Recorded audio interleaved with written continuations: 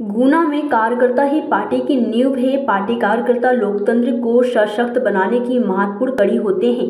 ये बात प्रदेश सरकार की पंचायत एवं ग्रामीण विकास मंत्री महेंद्र सिंह सिसोदिया ने बमोरी में आयोजित विधानसभा कार्यकर्ता सम्मेलन में उपस्थिति पार्टी कार्यकर्ताओं को संबोधित करते हुए कही। भाजपा सरकारों द्वारा चलाई जा रही हितग्राही मूलक योजनाओं का लाभ हर तबके व्यक्ति को मिल रहा है। मैंने बमोरी विधानसभा में कार्यकर्ताओं, लोगों की हर मांग पूरी करने का प्रयास किया है। चाहे वह स्वास्थ्य, शिक्षा, सड़क, बिजली, आवास, सिंचाई या अन्य कोई भी क्षेत्र हो, बमोरी विधानसभा में हज़ारों करोड़ों रुपए के ये काम कराए हैं। आने वाले चुनाव में हमें आपसी मतभेद भूलकर पार्टी के एकजुटा के साथ काम करना है और पार्टी के प्रत्यक्ष को भारी मतों से विजय बनाना है।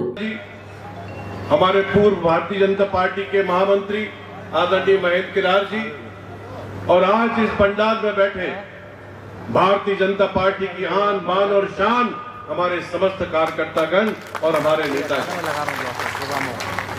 आज रानी अवंतीबाई लोधी जी का जन्मदिन है।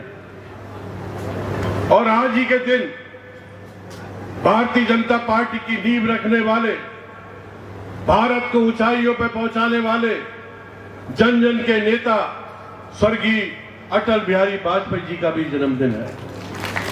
तो आज इस शुभ अवसर पर अपने भाषण को शुरू करने से पहले आपको एक खुशखबरी देना चाहता हूँ। मुझे याद है मेरे चुनाव के समय में जब माननीय मुख्यमंत्री शिवराज सिंह जी चौहान और हमारे लाडले नेता महाराज ज्योतिरादित्य सिंधिया जी इसी बमोरी के प्रांगण में आम सभा ले रहे थे तो यहाँ के लोगों ने एक मांग की थी कि पनेठी का बाँध बनना चाहिए।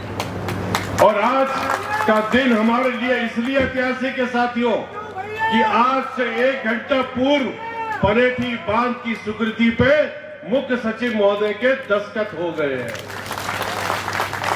इसके लिए मैं संपूर्ण क्षेत्र को बहुत बहुत बधाई देना चाहता हूँ। गुना से रणधीर चंदेल की रिपोर्ट।